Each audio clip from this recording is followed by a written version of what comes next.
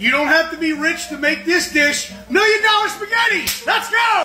To a skillet, I've added a little olive oil. To that, I'm going to add a half cup of chopped onion. Cook that for two minutes. Next, add in one pound of ground beef and a half pound of Italian sausage. Mix that all together. Cook this all till brown. Next, I bought a brought a pot of water to a boil. We're going to add, go ahead and add some kosher salt to that. Next, I'm going to add about three-fourths of this box of spaghetti to the water. Cook your spaghetti for about 10 minutes. To a separate bowl, you're going to add 8 ounces of cream cheese softened, 1 cup of ricotta cheese, quarter cup of sour cream, 1 cup of shredded mozzarella, half cup of Parmesan cheese. Mix together well.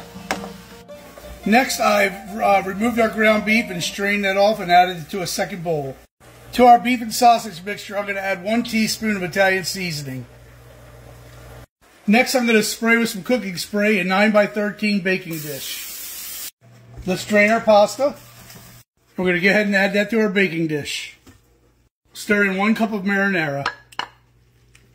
Next, I'm going to add four tablespoons of butter on top of our spaghetti.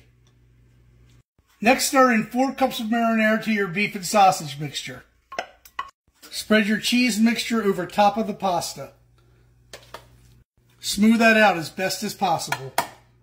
Add your meat mixture on top of your cheese. Spread evenly. Cover with 2 cups of shredded mozzarella. Cover with foil. Bake in the oven at 350 for 30 minutes. All right, after the 30 minutes, remove your foil. Then you're going to place your spaghetti back in the oven under broil until it's nice and bubbly. All right, let's get this out. Look at that cheese. All right, time to plate up. You can let this sit if you want, but I don't have time for that. Gonna top that with a little extra Parmesan.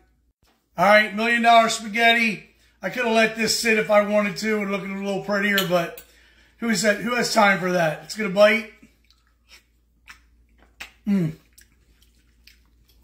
Amazing cross between lasagna and manicotti and, and spaghetti, but it, it's fantastic. Your family will love this. Please like, please share, please follow.